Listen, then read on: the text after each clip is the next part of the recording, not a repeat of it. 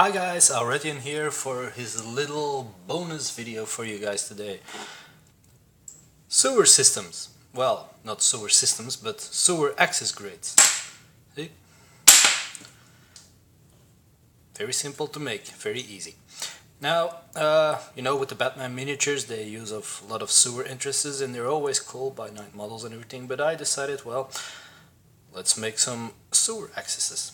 I will show you how.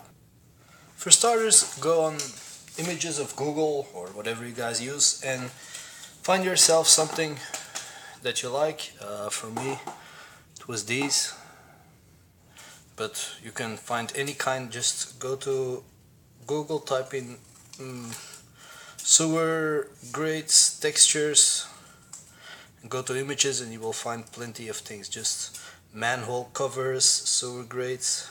Well, you get the idea and then uh, to actually have maybe a quick tip when you place this when you want to print this um, because I printed at a simple washer size I simply pulled the image into Word shrunk it and held my washer against the screen until it fitted this image. And I printed it and voila perfect fit. So yeah maybe a quick little tip. But what I do is I printed it and simply cut out the image like so. Be very careful with the because it's round so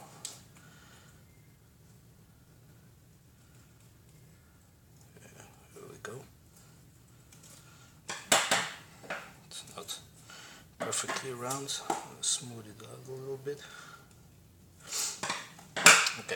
Then we take our washer and some, some white glue will do. Just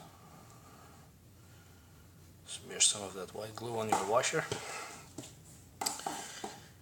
Take your manhole cover that you, on a piece of paper that you just printed and rub it on so the glue gets on the washer everywhere and on the piece of paper. Go make sure everything aligns. Voila! A sewer, a sewer grate, a manhole cover to place on your terrain board. Very simple. That's one. And you can do as many as these as you like. It doesn't take long. Yeah, that's it. Hope you guys enjoyed this video. And I'll see you next time on the Modern Terrain Craft.